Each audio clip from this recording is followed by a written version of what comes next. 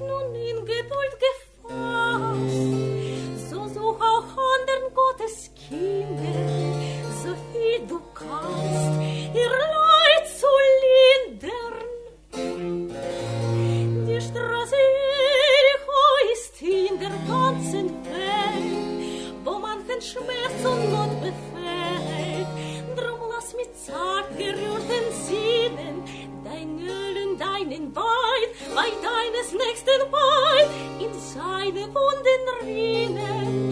strebe dich, ihr nun gefährten Leben mit Lust, Barmherzigkeit zu üben.